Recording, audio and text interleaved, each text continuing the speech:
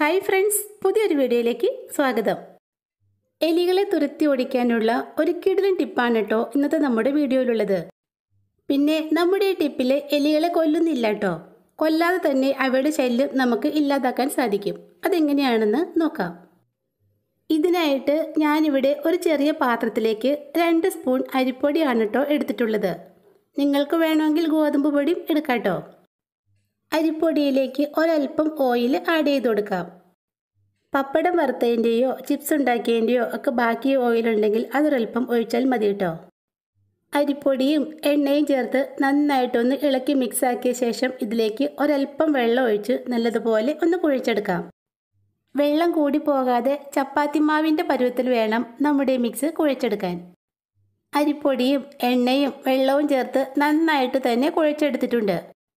ഇനി ഇതിൽ നിന്നും കുറേശ്ശെ എടുത്ത് രണ്ടോ മൂന്നോ ബോൾസ് ആക്കി ഉരുട്ടിയെടുക്കാം. ഉരുട്ടി വെച്ച ബോൾസ് ഓരോന്നെടുത്ത് കയ്യിൽ വെച്ച് ഇതുപോലെ ചെറുതായിട്ടൊന്ന് പരത്തിയെടുക്കാം. ഇനി ഇതിലേക്ക് ആവശ്യമായ ഒരു ഫില്ലിങ് ഉണ്ടാക്കിയെടുക്കാം.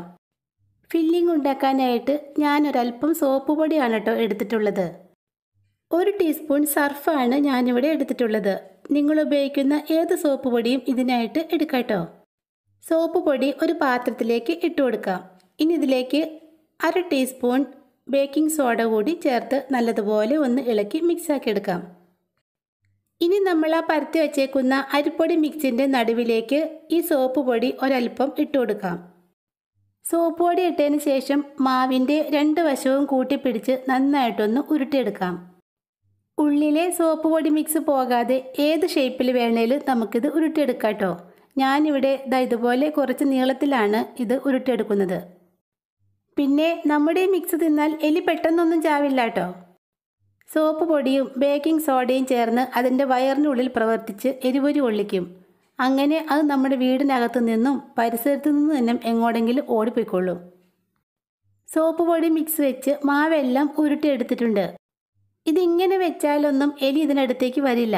എലിയെ ഇതിനടുത്തേക്ക് കൊണ്ടുവരാനായിട്ട് ഒരു സൂത്രം കൂടി ചെയ്തു വയ്ക്കാം ഇനി നമുക്ക് ഒരൽപ്പം ബിസ്ക്കറ്റിന്റെ പൊടിയോ റസ്കിന്റെ പൊടിയോ വേണം. നമ്മൾ ആ റെഡിയാക്കി വെച്ചേക്കുന്ന മാവെടുത്ത് ഈ ബിസ്ക്കറ്റിന്റെ പൊടിയിലേക്ക് ഇട്ട് നന്നായിട്ടൊന്ന് ഉരുട്ടിയെടുക്കാം. വിഷം ചേർക്കാതെ തന്നെ വീടിനകത്തും പുറത്തുമുള്ള എലികളെ കൂട്ടത്തോടെ തുരത്തി ഓടിക്കാനുള്ള മരുന്ന് റെഡിയായിട്ടുണ്ട്. എലികളുടെ ശല്യമുള്ള സ്ഥലങ്ങളിലൊക്കെ നമുക്കിത് ഓരോന്നായിട്ട് വെച്ചുകൊടുക്കാം. നമ്മുടെ കിച്ചണിലെ സ്റ്റവിന്റെ അടിയിലും സിങ്കിന്റെ അടിയിലുമൊക്കെയാണ് എലിയുടെ ശല്യം കൂടുതലായിട്ട് കാണപ്പെടുന്നത്. അവിടെയൊക്കെ നമുക്ക് ഈ ബോൾസ് ഓരോന്നായിട്ട് വെച്ചു കൊടുക്കാം.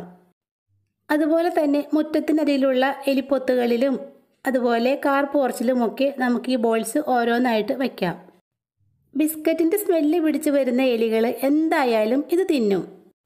സോഡാപ്പൊടിയും സോപ്പ് പൊടിയും ചേർന്ന് അവയുടെ വയറ്റിൽ പ്രവർത്തിക്കുകയും അവ എപ്രാളപ്പെട്ട വെള്ളത്തിനായി നമ്മുടെ വീടിനുള്ളിൽ നിന്നും പരിസരത്ത് നിന്ന് തന്നെ എങ്ങോട്ടെങ്കിലും ഓടിപ്പോയിക്കൊള്ളും. ഇങ്ങനൊരു സൂത്രം ചെയ്തു വെച്ചാൽ എലിയെ കൊല്ലാതെ തന്നെ അവയെ നമ്മുടെ പരിസരത്ത് നിന്ന് തന്നെ തുരത്തി ഓടിക്കാൻ സാധിക്കും. അപ്പോൾ ഇന്നത്തെ ഈ കുഞ്ഞു ടിപ്പ് ഇഷ്ടമായാൽ എന്റെ ഈ ചാനൽ ഒന്ന് സബ്സ്ക്രൈബ് ചെയ്തേക്കണേ. താങ്ക്